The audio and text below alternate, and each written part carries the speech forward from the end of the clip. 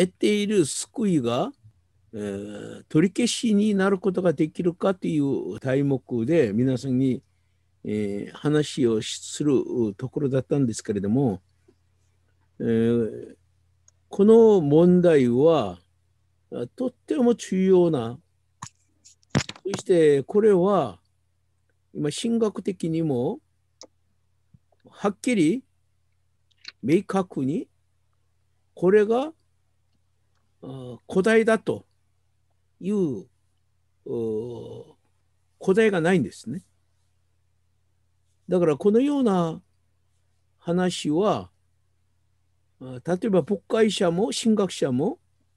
それぞれの意見を持ってるんです。だから A は失うことができるという人もおるしまだ失うことができないということもその考えを持っているんですね。じゃあそしたら私たちはどのように考えるべきなのかという。じゃあ私たちがイエス・キリストを信じて救われたその後に一回得たこの救いを失うことができると言ってもこれ困るしまだ失うことがないと言ってもまだ困るんですよ。どんな意味なのかしたら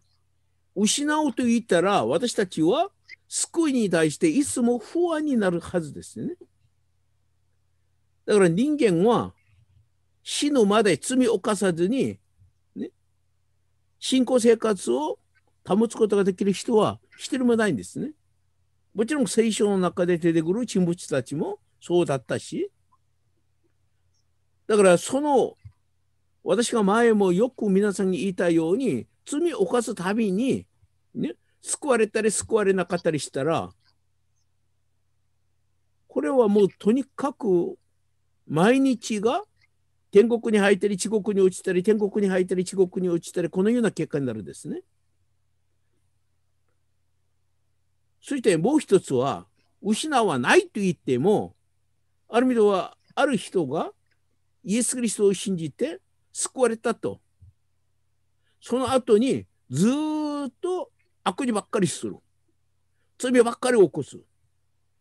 神様に対してもある意味では信仰生活しながら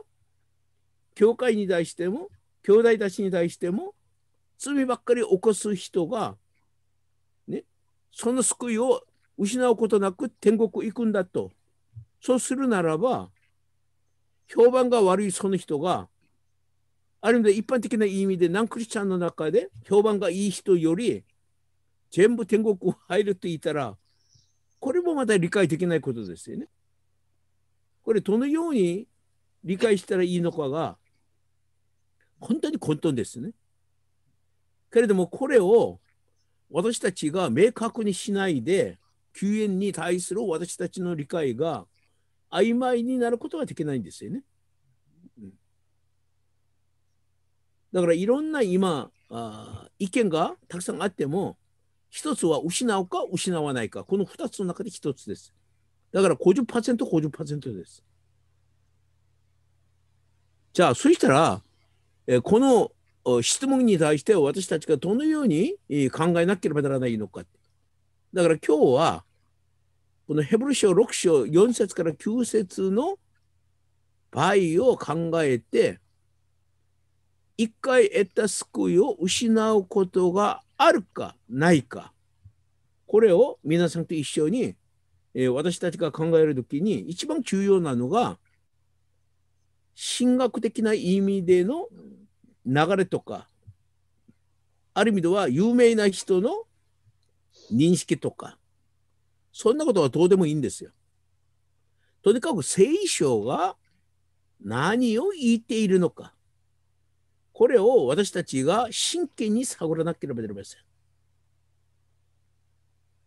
もちろん今日私たちがこのような救いに対して失うか失わないかということに対しては